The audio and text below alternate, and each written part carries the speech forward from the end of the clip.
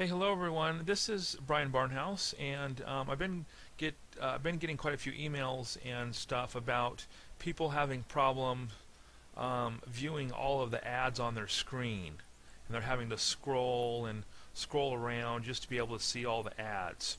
So I thought I'd make this video for you, and what we're going to do, I'm going to show you how to change your display settings so you can see all your ads, and then I'm also going to uh, show you something else that might be part of the problem as well. So the first thing you want to do to to change your display settings is click your start button at the lower left then uh, uh, go to your control panel. Uh, you'll see the control panel window pop up so then you want to click on the display icon right here okay? Just double click that. A new window will pop up.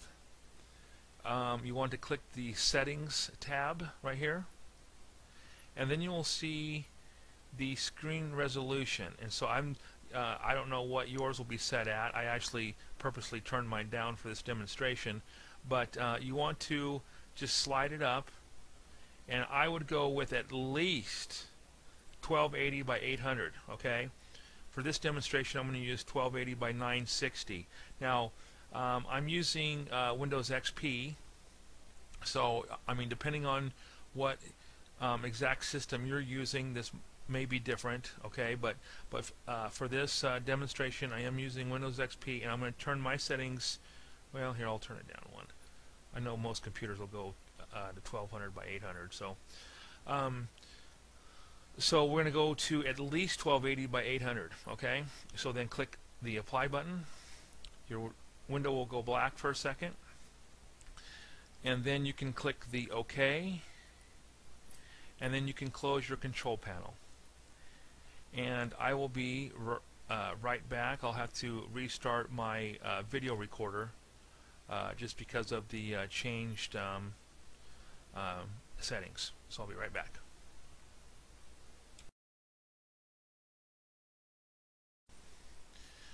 Okay, hi guys, I'm back here and uh, now uh, you see my screen with the 1280 by 800 screen settings and there's one other thing that I want to show you real quick okay? This is what it'll look like. Um, there's also something else you can do because as you can see right here we still don't have the top and bottom quite right okay? So if you have a bunch of toolbars like I have up here you can actually get rid of some of them and that'll actually free up some of your screen space as well. So um, and, and, how you do this okay? So let's look let's look at mine uh, Let's look at my uh, toolbars real quick here. Let me adjust this so you can see it.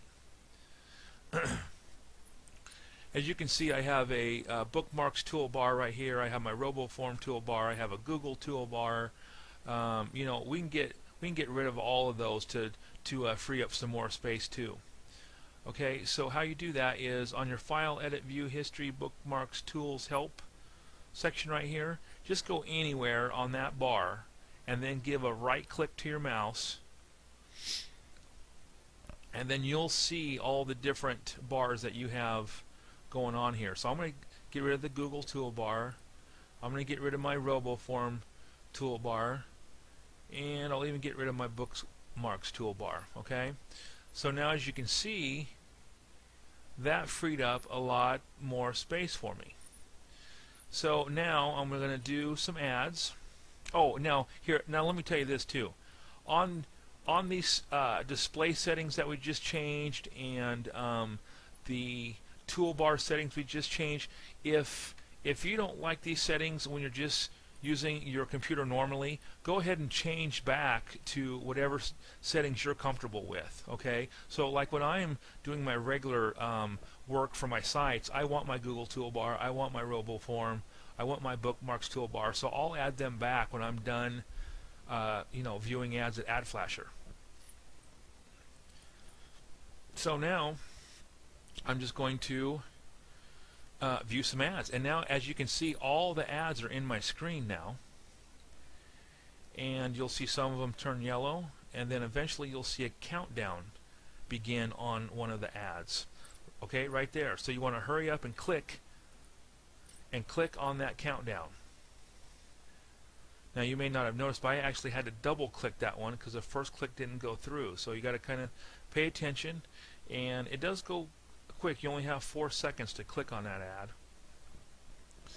now so when you click on the countdown a new uh, kind of window will pop up and it'll be the ad that they want you to view and I would look at it. You know you're being you're being paid to you know look at these ads. So I mean give it give uh, the ad your consideration. Someone is actually paying you to look at this. So and uh, you know these are pretty good deals for magazines.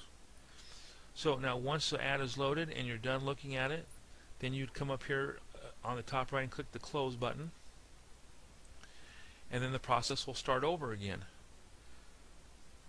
there's the countdown I want to get down there and click it real quick oh guess what I didn't I didn't get it clicked in time so what happens sorry the countdown reached zero you must click on the boxes that are counting down before they reach zero.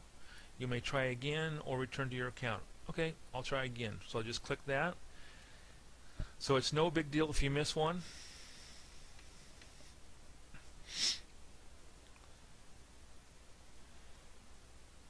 So you'll see the yellow flashing again and you just wait for the countdown. There's the countdown. I'm going to click on it. and then the new ad will pop up that they want me to view. I've actually seen this one quite a few times before.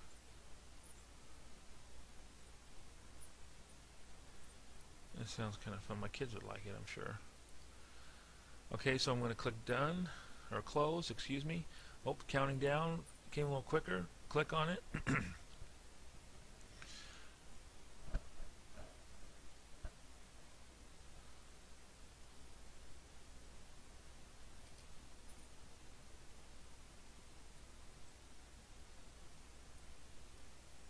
So again, wait for the ad to completely load and uh, take a look at it, you know, see what they're offering.